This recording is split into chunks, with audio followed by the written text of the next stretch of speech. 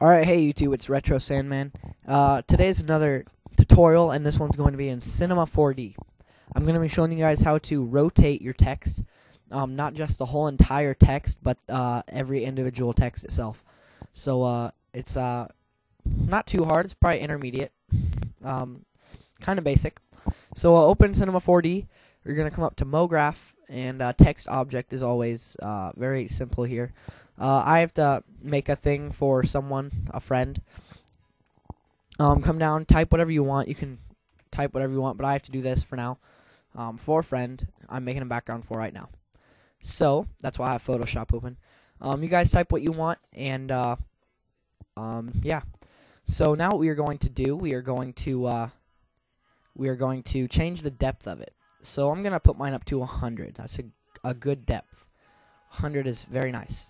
And uh, next what we're going to do, we are going to uh, duplicate the text layer by uh, coming up here, selecting the text object, hit Control C and then Control V. That will copy it, make a text object 1. And uh, now what we're going to do, we're going to make sure we have that text object 1 selected and change the depth of that to 50, half of whatever you have. Um, and uh, then we're going to move it to the center of the, the bigger text, um, our original text and then um, make sure you have your text object 1 selected still. And we're going to go to cap caps and we're going to select fillet cap for both start and end and that will give it a cool effect. And also actually I could I should have done this before. Uh, you can change your your font. I'm gonna change my font really quick. It's not a big deal just I like to I'm gonna change it. Uh, let's get a, a cool uh, graffiti one going on here Oh, this one's cool. I don't even know what it's called, but I need to do it for both of these. Strassa or something like that. I don't know. But let me get this real quick.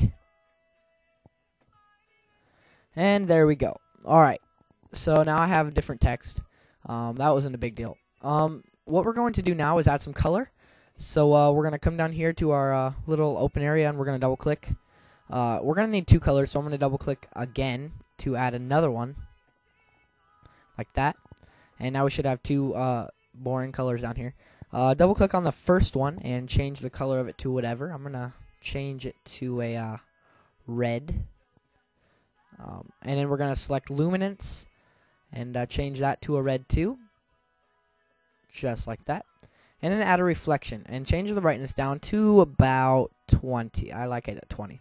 And then for a texture, we're going to select Fresnel and change that down to 22. And uh, you can change the blurriness to 5%. That's what I like it at. And then uh, exit out of that. Double click on our next material. And uh, I'm going to make this one black. You guys can make it whatever colors you want again. Uh, for the luminance, make sure you have luminance checked again. Change it to whatever color. And reflection, same thing here. Change that to 20. Fresnel. And 20%. And 5. There we go. Exit out of that. And uh, we're going to take our first one, our first gradient, or not gradient, color, and drag it on there. And uh, it will give it a cool look. Like that.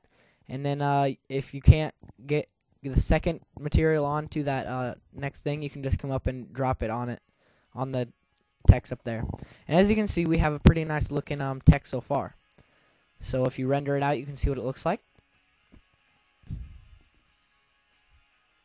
And that's what we have so far. You just can't see the black very well because the background is black uh, when you render it. But uh, what we're gonna do now, we're gonna start. Uh, we're gonna start attempt, uh, not attempting, but we're gonna start rotating the text.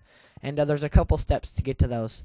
So uh, what we're gonna do, we're gonna come over here and we're gonna select both of these objects like that, and then we're gonna hit C, and that will make it a object. Um, it will just kind of separate them from being one whole thing. So now if you select your text object, not the not text object text object one, but text object, and go down and hit the plus until you see all these uh, little uh, NURBS with all the your letters in it. Uh, we're gonna take those, so select all of those, and then drag it um, so it's out of it. Drag it to the very top until it's arrow over, and then that will uh, um, take it out of that little um, thingy group thing that was in. So now it's just open.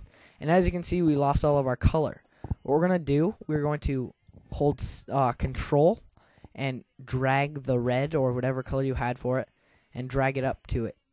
So like that, and then make sure you deselect, hold C, select the red, bring it up, drop it there, and uh, do that for every single one. Make sure you deselect or else it will copy more uh, thing colors than it needs to. Um, doesn't take too long. So just like that, and now we have all of our colors. We can delete the uh, text object, the null one, so uh, since it has nothing in it. So you can delete that, and now we have uh, this so far. Now we're going to do the exact same thing for that uh, for the next uh, text. So we're going to go in these plus things here, and we're going to select all these like that, and drag it so it's out of that group. And uh, then you can delete that, or not delete it yet, but hold C, drag that color up to every single uh, letter, like this. And uh, just holding control and dragging it like this. Get that done. Alright, now we can delete that um, null object. And uh, now we have all of these letters and uh, what to do. We're going to, uh, now, we're going to put them next to each other. So we have the G here and the G here. So we're going to drag the first G and drag it underneath the second G, like that. And then we have uh, the next letter, S, and we're going to drag it underneath um, the second S.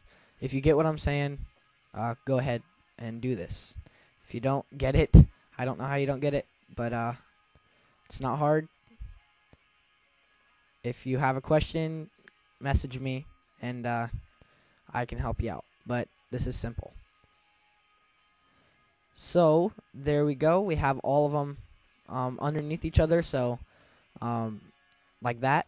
Now what we're going to need to do, we're going to need to group these. So we are going to select both of the S's like that. Or we're going to select, hang on. We're going to select both of these S's like that. So now they're both selected. And we're going to hit Control or Alt and G. And that will group them into a null object. And we're going to do that for every single letter. So you select the next L's, two L's, group, hit Alt G, and then same thing with the next two, and the next two, and the next two, and on and on. Just like that. So now we have uh now we can uh move these however we want to like this. Every single individual letter by uh clicking on them in the 3D form, but over here in the layer panel thing. And as you can see, we can move them wherever we want to. And that also means we can rotate them. So we can uh, select our first letter, get this uh, rotate tool up here, and uh, rotate it just like that. Maybe move it forward. And this is where you guys can do uh, what you want to uh, design. Just like this, you can select your next one, rotate it, like that.